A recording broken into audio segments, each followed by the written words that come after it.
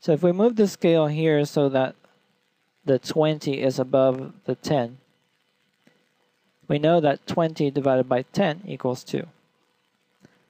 So if the two scales remain fixed in this position, the top number divided by the bottom number is going to be equal to 2 in any part of the scale. We can put a cursor on the scale to visualize the top number and the bottom number more easily. So here on the 30 and over the 15, we have 30 divided by 15 equals 2. We can move the cursor here. 60 divided by 30 equals 2. 48 divided by 24 equals 2.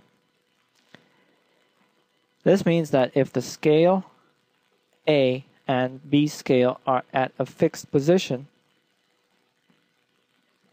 we have that in a certain location, the top number divided by the bottom number are going to be equal to the top number divided by the bottom number in another location, which is going to be the same throughout the scale. It's going to be equal to a certain number we'll call k. If we were to move the cursor over here in this area, we would be in a place where we have a top reading, but we don't have a bottom one. So what we're going to do is we're going to extend this B scale down here to the right like this. And we use the same calculations that I showed you before to calculate these new numbers. So now if I move the cursor here, where on top it's over the 16 and the bottom it's, it's over the 8, we have that 16 divided by 8 equals 2, just like in the other places of the same scale.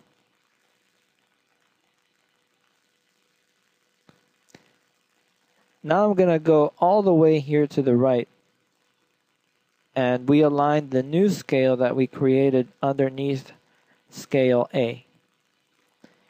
And what's interesting here is that all the numbers seem to be aligned. The only difference is that the top number is 10 times greater than the bottom one. This property is going to be especially useful when we construct the circular slide rule like the one that we use in the E6B. So I'm going to go ahead and slide the ruler all the way to the left. And I'm going to align the 100 with the 10. I also continued the numbers here on the B scale so they go up all the way to 1000.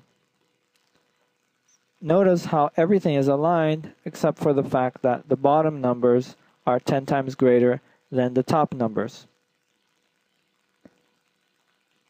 Now let's slide the B scale here a little bit to the right and see what happens.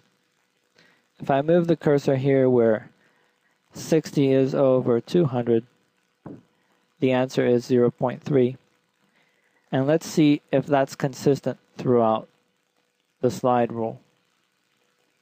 I'm going to go here, 24 over 80. If I calculate that, that's going to be 0.3.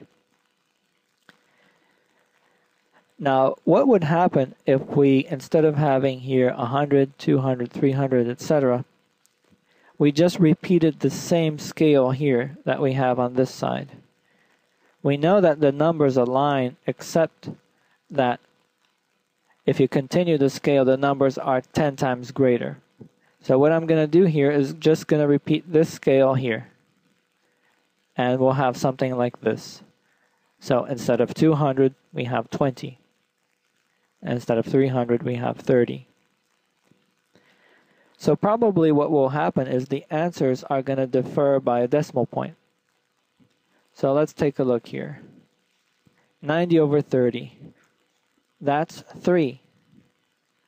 So the answer is correct except for the decimal point. Let's slide the cursor here and we have 60 over 20 and that's 3 and we have the same issue where the answer differs by a decimal point. Now what would happen if we made the A scale into a circle like this, where we have the 10 here corresponds to this same 10 here on the linear one. And then we go clockwise in this direction and we have the 20, the 30, the 40, just like we have here on the linear ruler. Except for when we pass 90 and get to the 100 here, we don't put the 100. We're just going to start the scale all over again. So this is basically like having a scale of infinite length. And the numbers are going to differ by multiples of 10 because we're not putting the new number here 100, 200, etc. They're just overlapping and they're going to be different by a factor of 10, 100, 1000, etc. We're going to take a look now at the B scale. And we can pretty much do the same thing. Take a section of it here and make a circular version of the B scale so that uh, aligns with the A scale. You can see that the same cursor position that we have here on this linear straight line scale here, there will be the same corresponding position on the circular scale. And I'm just going to move it around here for you to see how they work more or less the same.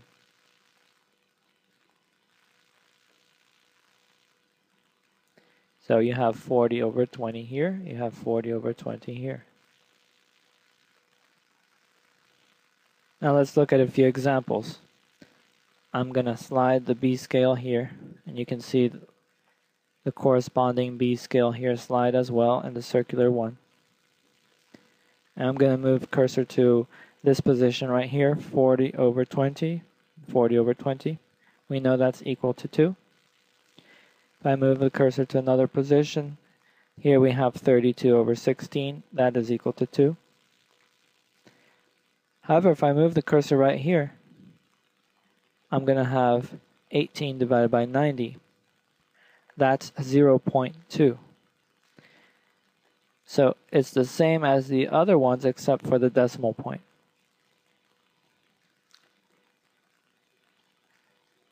So what we have is whenever the cursor is on this region here after the 10, we have one decimal point.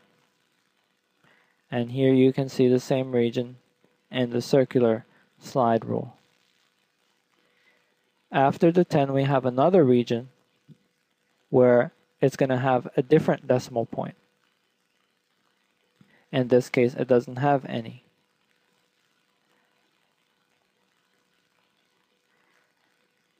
So the tens and the A scale and the B scale, they mark the regions where the decimal points are going to be different.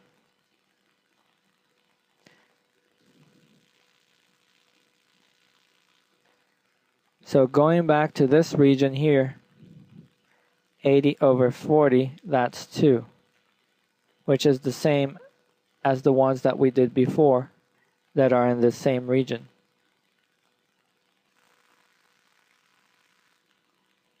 We'll quickly take a look at another similar example.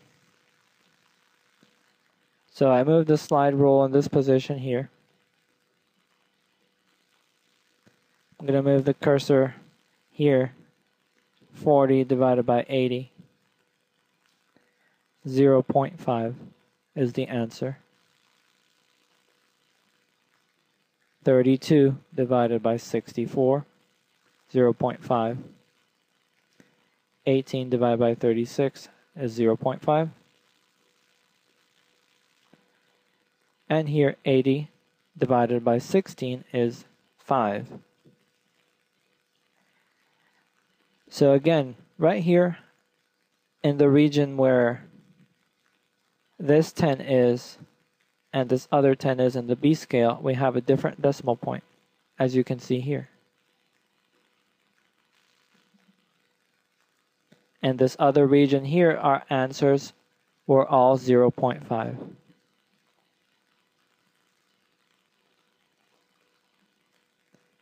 And here they are, the 10 here and the 10 here mark the different regions. if the A scale and B scales are at a fixed position in relation to each other, a number on the A scale divided by a number underneath that number in the B scale will equal to a number on the A scale in another position divided by the number right below it in the B scale. And that will be consistent throughout the scales. Except for the decimal point may vary as we just saw.